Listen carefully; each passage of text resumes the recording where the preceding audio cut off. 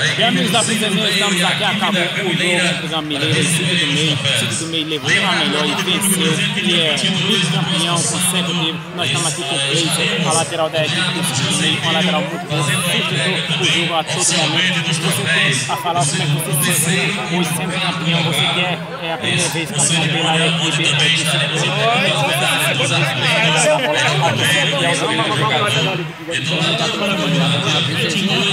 Primeiramente agradecer a Deus né, pela, pela partida e aliás, fui campeão, né? Batalha foi campeão.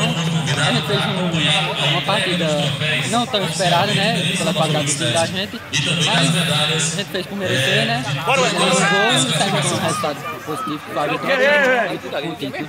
Você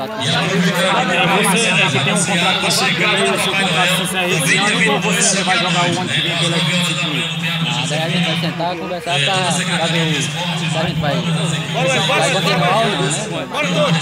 É isso aí, você acabou de ouvir a palavra do Cleison, o lateral de número 2. É, o Cleison é campeão pela equipe do do Meio. Acabou o jogo, campeão, é vitorião consecutivo aqui com o Itafrica. Se você quiser acrescentar algo a mais no final da procedência,